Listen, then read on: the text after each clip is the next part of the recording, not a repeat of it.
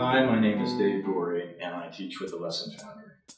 I've been teaching for over 30 years, and I've found that uh, I get the best results when I try to tailor lessons to fit the interests of the student. So I teach all styles, I teach all levels, and when someone starts lessons, the first question that I ask them is, what do they really want to learn? What do they want to focus on? And I will custom build the lesson to fit those interests as much as I possibly can.